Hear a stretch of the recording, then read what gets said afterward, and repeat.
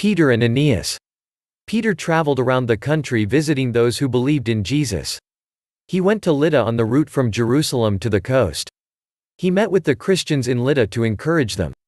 Peter met a paralyzed man called Aeneas, who had been unable to get up from his bed mat for eight years.